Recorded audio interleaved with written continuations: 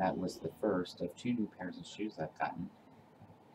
I know I'm not much of a shoe person, and I've gotten four this year already, which is a lot for me.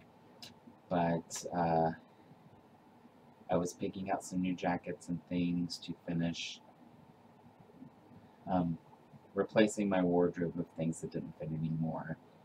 And I happened to catch my on these shoes, and I thought, you know, I these are very interesting, and I really like them, and I want them.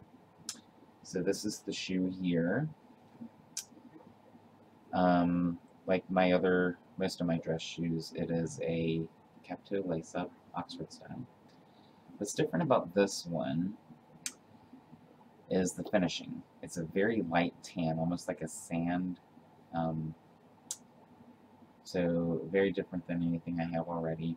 And if you'll notice on the tip of the shoe here, there's kind of an ombre effect, as well as um, on the stitching here on the side of the shoe, which I find very interesting. It gives it a different kind of look. It separates itself from like a typical tan dress shoe. And, you know, I love to stand out when I'm dressed. And I'm kind of starting to get into that with my footwear. For years, I've always worn plain black, burgundy, very basic. And I figured, you know, it's time I start venturing out shoe-wise.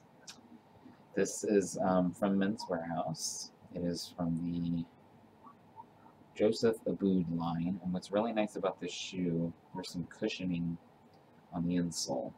Very comfortable. It has a nice uh, prominent heel to it. Also comfortable.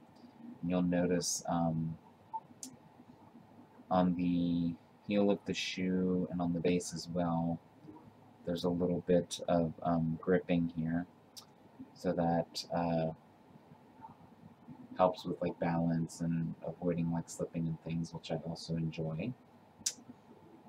So uh, this is uh, one of my new shoes. Would love to know what you guys think.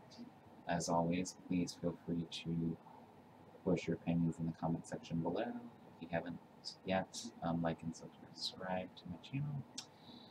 Until next time, this is perché magari fai, sanno.